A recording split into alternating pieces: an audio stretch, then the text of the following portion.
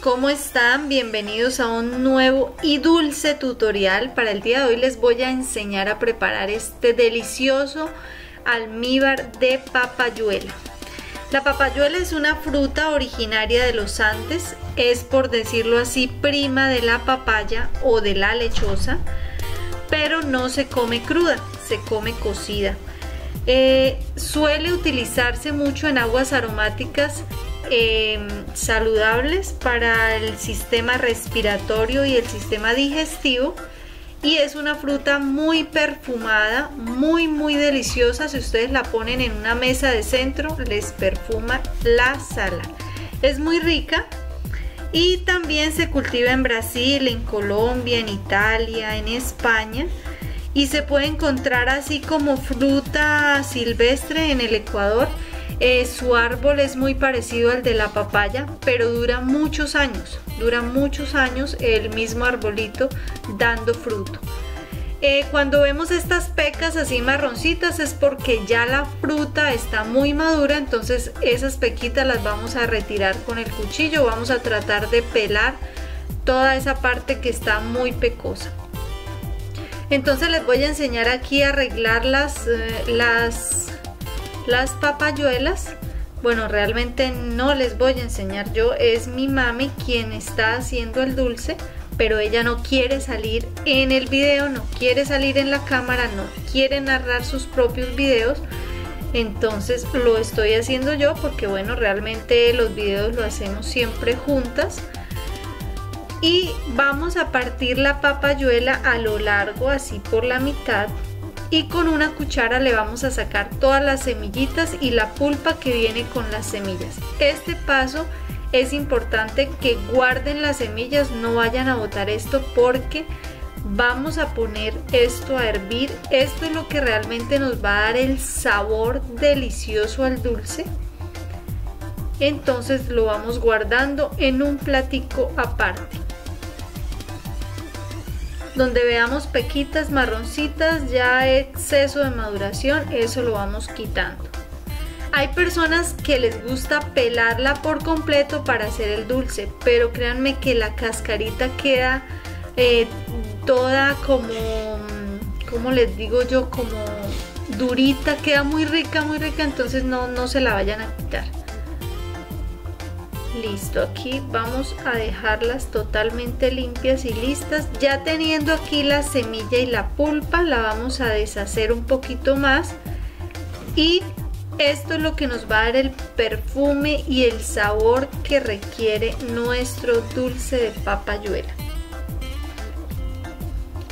Esta fruta la usamos mucho también en aguas aromáticas, queda exquisito el olor y el sabor que le da el agua aromática eh, se usa mucho, aquí en Colombia se toma mucho el agua aromática en Bogotá con esta fruta.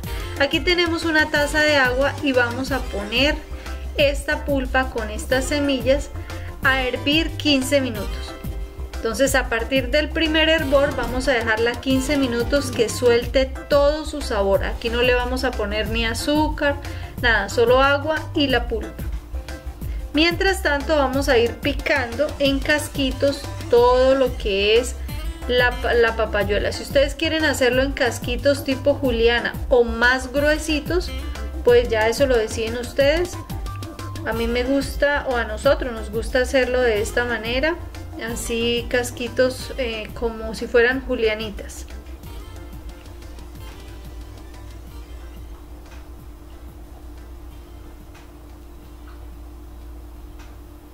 Vamos a ponerlas aquí todas aparte. Mientras estamos picando eh, la fruta, está hirviendo las semillas con la, con la pulpa que traen las semillas. Y eso es una agüita que va a quedar espesita, porque la pulpa le da como ese espesor. Y eso es lo que se nos va a convertir más adelante en almíbar, pues obviamente junto con el dulce, el azúcar que le vamos a aplicar.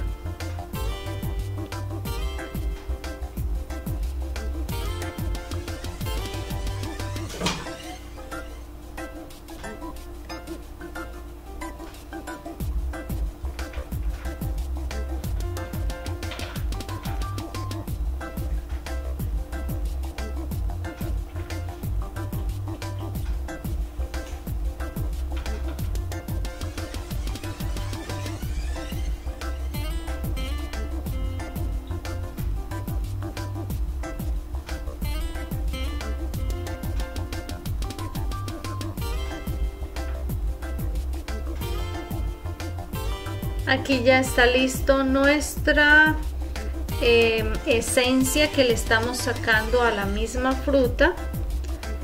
Entonces con esta agüita es que realmente vamos a hacer el dulce. Aquí la colamos y le sacamos la mayor líquido que podamos sacarle. La estamos escurriendo bien, bien, bien escurridita.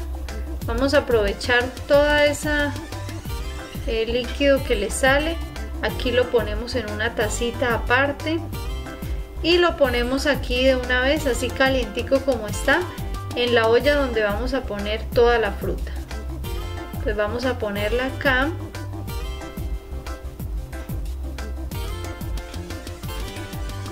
muy bien aquí estamos poniendo fruta eh, les voy a decir el peso. Peso exactamente así picadita y ya sin semillas sin la pulpa de las semillas. Peso exactamente 250 gramos en perdón 1250 gramos eh, toda la fruta así picadita como están. Entonces para 1250 gramos vamos a usar 400 gramos de azúcar. Es más que suficiente. 450 gramos de azúcar y vamos a ponerle agua hasta que tape la fruta, solamente hasta que la tape.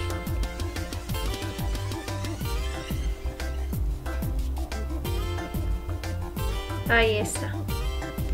Este dulce lo vamos a llevar a fuego lento durante dos horas, dos horas y media. Ustedes van viendo Aquí le vamos aplicando canela y clavos, que es como lo esencial para los dulces, para los dulces, para los almíbar.